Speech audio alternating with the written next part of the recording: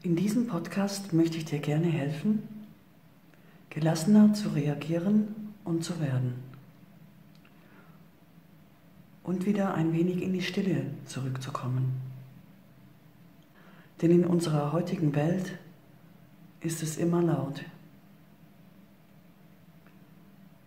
Es gibt praktisch keinen Platz, an dem es einfach nur still ist. Irgendwo hörst du immer irgendwas. Seien es vorbeiziehende Autos, Unterhaltungen anderer Menschen, Gelächter oder Spielereien von Kindern,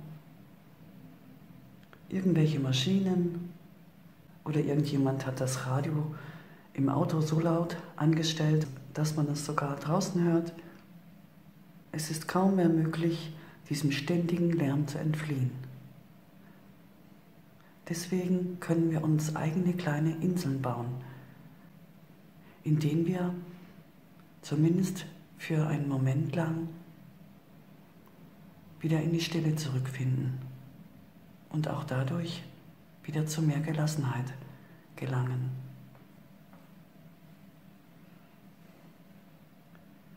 Inspiriert wurde ich für diese Podcast-Serie unter anderem durch das wunderbare Buch Die Rückeroberung der Stille, Auswege aus Stress und Reizüberflutung von Harald Käuser. Aber auch durch andere Bücher und durch meine eigenen bisherigen Erfahrungen.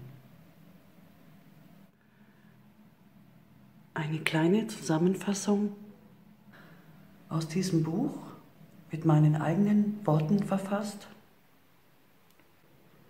und einen kleinen Teil verschiedener Impulse aus diesem Buch und die ich ebenfalls zusammengeschnitten und mit meinen eigenen Worten dir in den nächsten Wochen und Monaten zusammentragen werde und dir somit mit dieser Podcast-Serie eine Hilfestellung sein möchte. Um nochmal auf das Buch Die Rückeroberung der Stille zurückzukommen. Dieses wundervolle Buch hat noch jede Menge weitere tolle Möglichkeiten, um wieder gelassener zu werden, gelassener zu bleiben und in die Stille zurückzukommen. Dieses Buch ist ein wahrer Schatz und es lohnt sich, es sich anzuschaffen.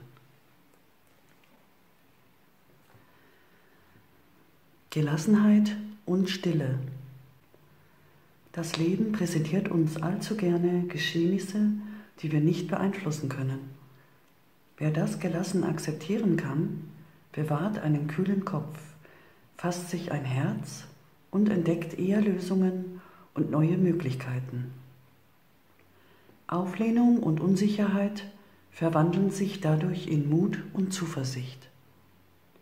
Der Zauber der Gelassenheit tut seine Wirkung.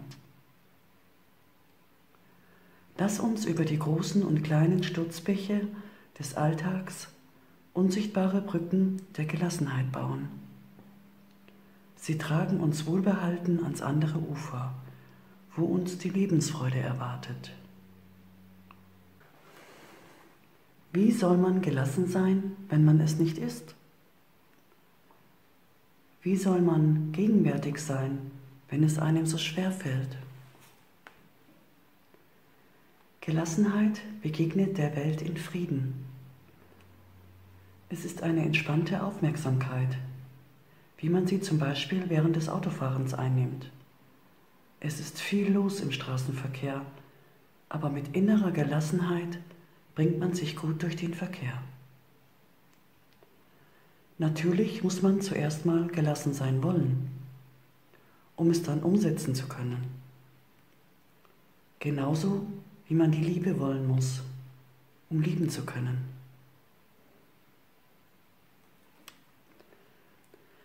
Anwesenheit, Mäßigung und Gelassenheit sind Fähigkeiten, die man trainieren kann, wie Schlittschuhlaufen, Fahrradfahren oder gar die Luft anhalten. Der eine hat eine Begabung dazu, dem anderen fällt es schwerer, doch denkbar ist es für jeden. Wir sind dazu fähig, durch Wille und Übung zu werden, was wir sind oder sein wollen. Hierzu habe ich heute den ersten Impuls für dich, den du ganz für dich ausprobieren kannst. Teil 1 Während der Hausarbeit alles fallen lassen. Du hast zu Hause viel zu tun. Aufräumen, Wäsche machen, Staub wischen, die Geschirrspülmaschine einräumen. Die Fenster müssten auch mal wieder geputzt werden. Du schuftest wieder einmal, kämpfst gegen die Zeit und versuchst das Chaos in den Griff zu bekommen. Plötzlich klingelt dein Wecker.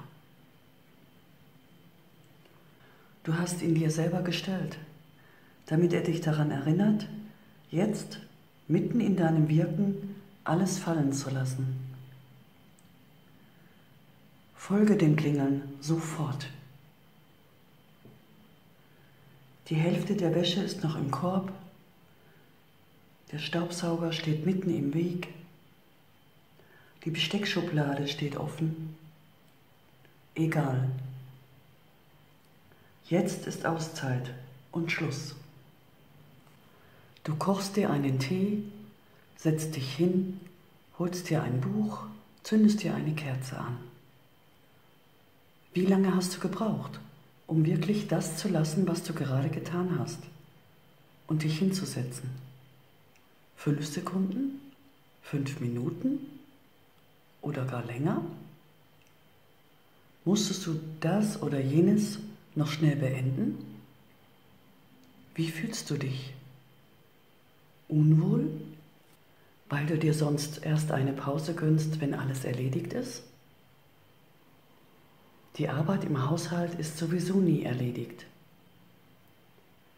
Denke darüber ausgiebig nach, während du deinen Tee genießt.